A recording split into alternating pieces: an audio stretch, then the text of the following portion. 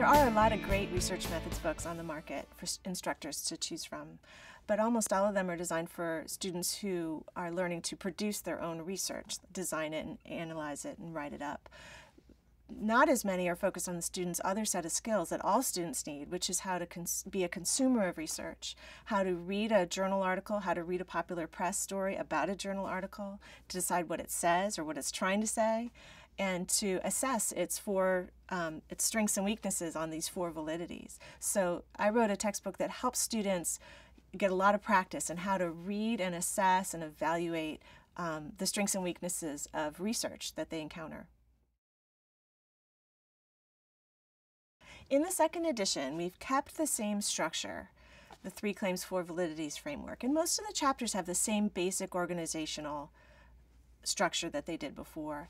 But in most chapters, I've replaced some of the examples because a lot of what I want students to do is be able to go to the popular press and find new examples and be able to criticize them and read them carefully.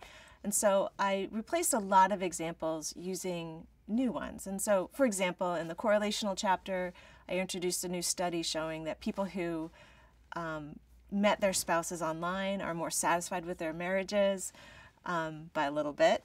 Um, there's some new examples to freshen up the book, and so instructors can use the new examples and they can also keep using examples from the first edition. So they can have a variety of examples for students to learn. The second thing that's new in the new edition is we've highlighted a feature that was in the first edition, but we gave it a name called Straight from the Source, where we take an actual image of um, a table or a graph from a journal article and present it to students in the text so they can get used to seeing how some of this information might be portrayed in a journal article. So they get used to seeing things that they understand, maybe things they don't understand, all mixed together, and that gives them good kind of concrete in vivo experience with that with that strategy, with that, that skill. The third thing that's new in this edition is we added um, some quiz questions to the end of cha each chapter. Students learn best, people learn best when they test themselves. And so by testing themselves, we hope that they'll learn the information a little bit better.